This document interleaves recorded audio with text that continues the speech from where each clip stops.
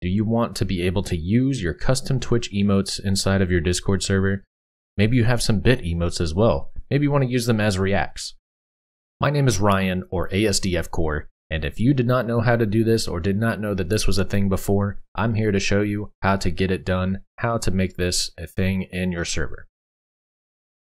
First thing you're going to want to do is go down to user settings. This window will pop up here, and the first place you go to is the setting labeled connections.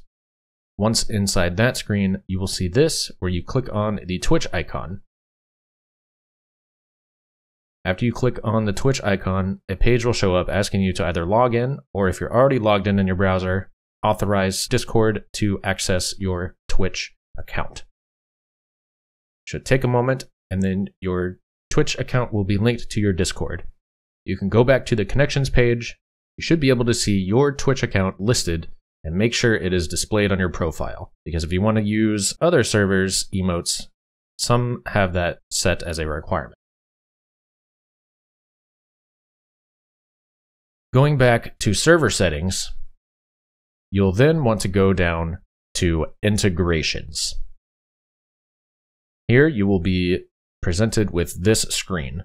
It should show up almost exactly like this, and if it is synced correctly, you'll see your emotes listed down at the bottom.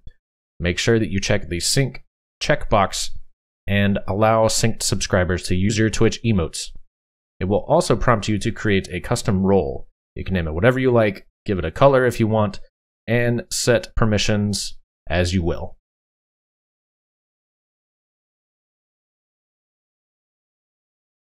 And just like that, you should be able to see your emotes populate when you select to use an emote or emoji or reaction, whatever you want to call it.